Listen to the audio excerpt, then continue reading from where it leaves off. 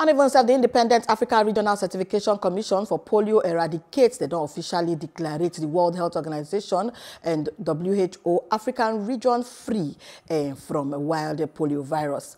And this one, they mark the eradicate of the second virus for the face of the continent since smallpox 40 years ago. And even if the last case of the wild polio virus inside the region been detected for 2016 inside Obodo.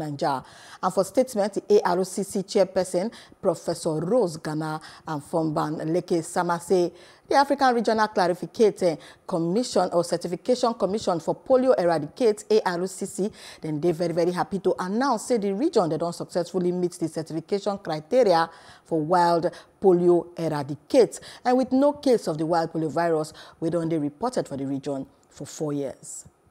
This will be a momentous milestone for Africa. It marks only the second eradication of a virus from the face of the continent since smallpox 40 years ago. Now, future generations of African children can live free of wild polio virus.